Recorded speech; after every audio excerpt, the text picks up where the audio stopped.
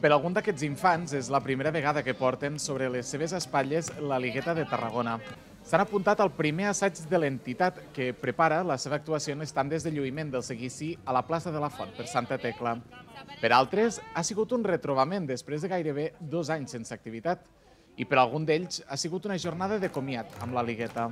Després de tot aquest temps han crescut i ja no tenen les mides òptimes per portar la bèstia.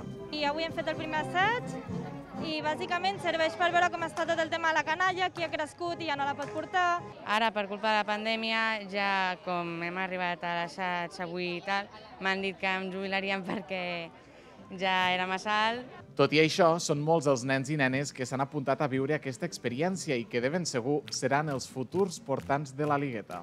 He anat a dins de la Ligueta i i he caminat una mica en la liga. La liga pesa bastant i que és millor que primer aprenguis a caminar que ballar, que si no et costarà molt. La Minerva ho envia els són alguns dels infants que seguiran portant la bèstia en aquestes festes. Crec que és molt xulo poder portar una bèstia per Santa Tecla, és molt xulo. Tens que anar controlant de que no se te'n vagi cap endarrere, cap endavant, perquè com pesa molt, pues, eh, de repente se't pot tirar cap endarrere i llavors tens que fer força amb els braços. Des dels 7 anys que estic a la ligueta. Soc de segon any i porto la ligueta petita. I el meu besavi va construir la liga.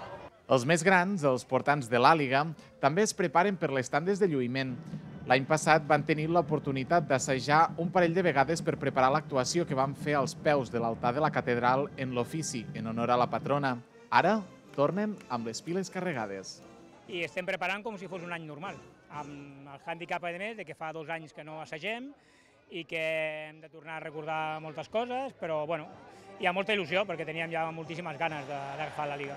Enguany i per segon any consecutiu no podran realitzar la tradicional baixada de l'àliga que plegava a centenars de persones a la plaça de les Cols. La cita més esperada són els balls a la plaça de la Font dels dies 22 i 23 de setembre.